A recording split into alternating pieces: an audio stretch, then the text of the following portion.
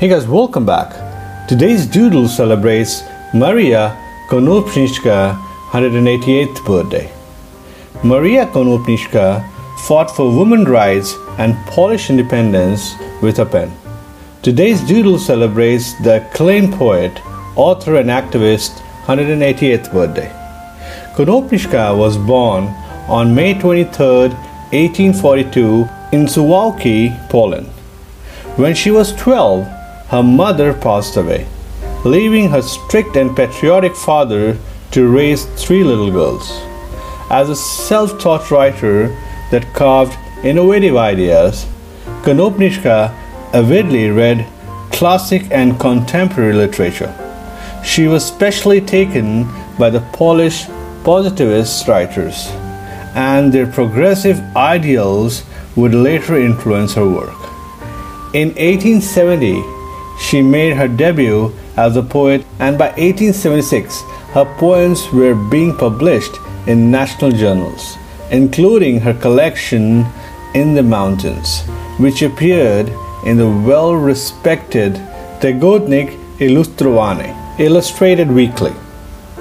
A positive review by Nobel Prize laureate Henryk Sienkiewicz encouraged Konopnicka to keep writing. In 1877, Konopnicka moved to Warsaw with her children to be in the thick Polish literary and intellectual life.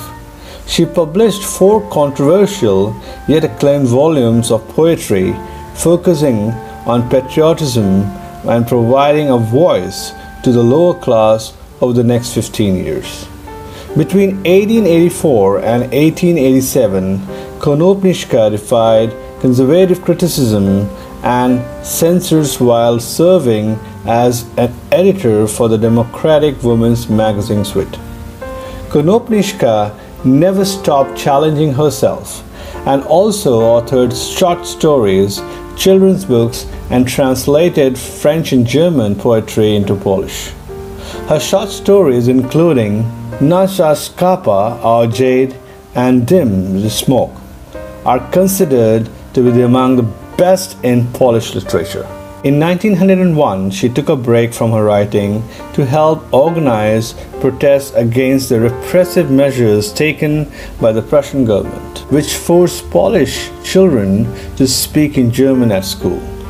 To celebrate the 25th birthday of her literary and social work, Konopnicka was offered a house in Żarnowiec as gift from the Polish nation.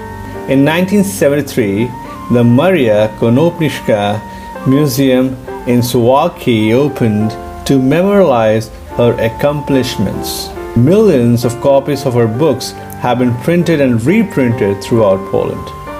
Happy birthday, Maria Konopnicka!